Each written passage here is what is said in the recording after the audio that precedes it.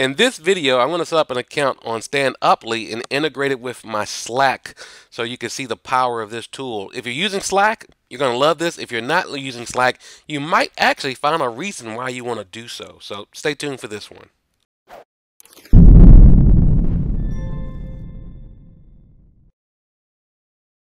Hey, this is David with TechSmart Boss here with another video. Today, I'm going to try to set up an account on standuply.com. This is a Slack bot, so this only works with Slack. I think they might have some plans to expand it, but you know how I love Slack, so check out my other videos on Slack. That's the, the center of communication for my business. But what Standuply does, you kind of get the gist from the name Stand Up Meetings.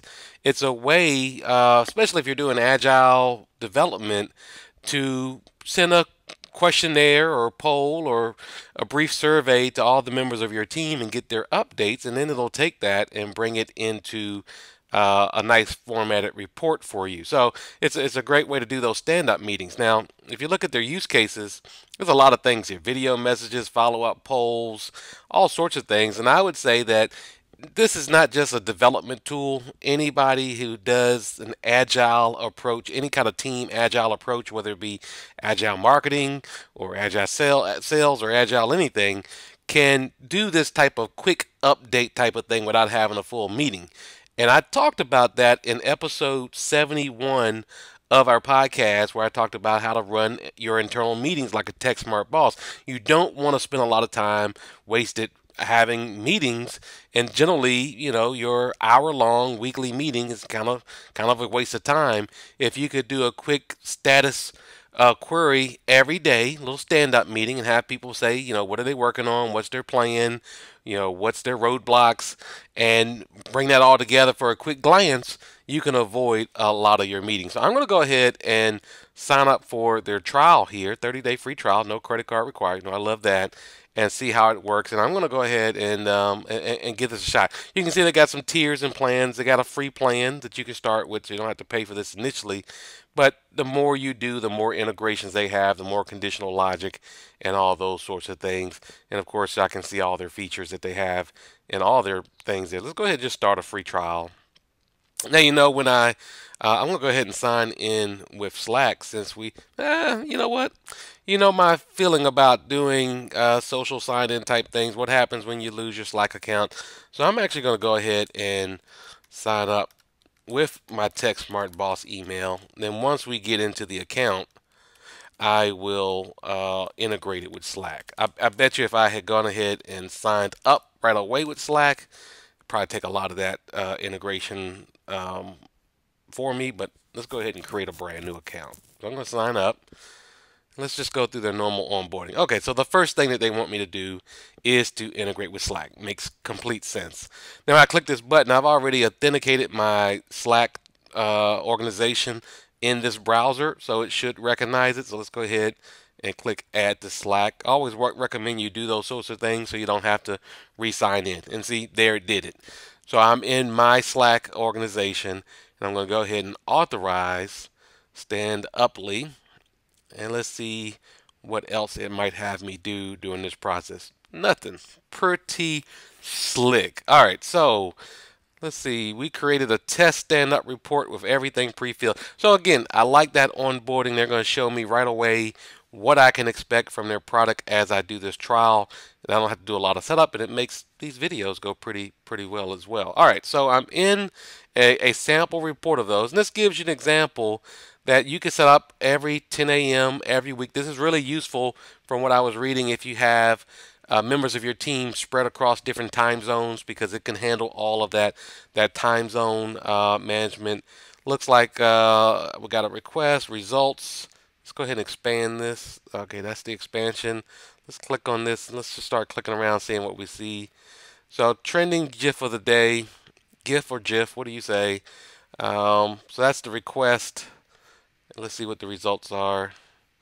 And you can say where and put your results. I'm not seeing a lot that I understand from just looking at this.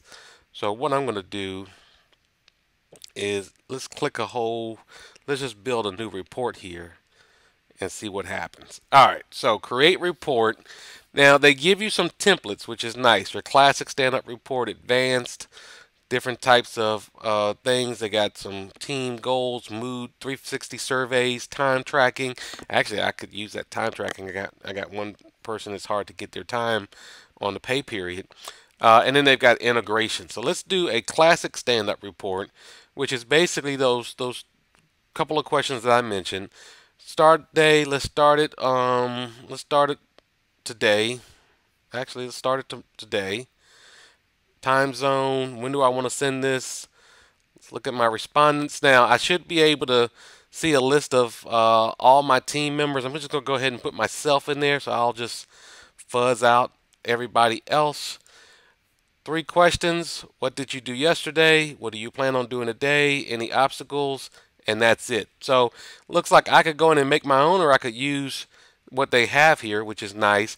And they also have this video. So if people don't want to respond, if it's too much they want to say without typing, they can type they can do a video, which is which is really nice. Waiting time, end time reminder. Very nice. I like that. All right. Let's see where I want to deliver the results. I want to deliver it to want to deliver it to myself. So let's do that. I'm the manager, but you'll notice the options here. I could put this to the entire team via a channel or a private channel. I like that because a lot of integrations don't support private channels, which is what I recommend you use. I can also email it, so you, people don't have to be in Slack, uh, but they will have to be in Slack to do the response. And it's got webhooks here, so we could hook it up to Zapier. We could do a whole lot of cool things there as well. All right, done and run. There it is. Now I notice that my Slack is over here popping, so things are happening as I'm, doing things here. Let's just take a peek and see what's plopping. I'll blur out a lot of these, but there we go. So now Standuply has an app integration here, and I can kind of see that I've successfully created a report. It says talk to you soon with a little robot face there. All right, that's nice. Let's see if it's anything I can do to kind of trigger this right now. Let's let's run it now. All right, that's good. I'm going to run this now. All right, here we go. So it just started. Check it out. So I, I like this is easy and intuitive. So now it posted a question to me. Come on, it's time to start the stand-up meeting. Please answer these three questions. I can snooze it. They got quick replies when I snooze, which is nice. So it's not too uh, uh, much of a pain in the butt. I could do my video voice answer, which we saw, which is an easy way to go through it. What did you do, do yesterday? I did a video for Tech Smart Boss. I hope I can erase these because this is actually in my business here. What are you planning on doing today? Sleeping. I'm just having fun. I wish I could get some sleep. Any obstacles? I have too much work to sleep. That is a true statement right there. Got it. And then there's the results because I put the results back to myself. So now let's take a look at the results. There it is. So again, I think I see the power here to do quite a bit in terms of building all types of surveys and all types of automated polling type of things, setting them up, having them on a schedule, emailing them to a team, collecting responses, and bringing them up into a stand-up uh, report. Let's look at history. I should probably be able to see that report. There it is, which is nice. And from what I understand, inside this stand-up report, I could build all sorts of uh, integrations and start to pull stuff from all the sources that they integrate with. So I think if I go into settings, dashboards, I saw those integrations a little bit before. Let's go into here and edit this report and take a look. Uh, it might be the pull requests are the integrations. Yeah, that's what I was thinking. So if I add an integration here, you'll see that they got all sorts of things that you can do. Well, that's a little bit different than the integrations I saw, but somewhere in here are integrations to a lot of the development tools and project management tools even a test review. That's pretty cool. All right. Hey, I'm going to play around some more with this, but if this is if you're using Slack, I think this is a tool that you should definitely look at bringing on board um, because it can re really help automate a lot of the data gathering that you might be doing on your team. Uh, if you're not using Slack, then check out our videos on Slack. You might want to start using it. But I hope you enjoyed this video. Be sure to subscribe to our YouTube channel. Check out our Facebook page. Every Sunday, we come up with a new video, so stay tuned for the next one.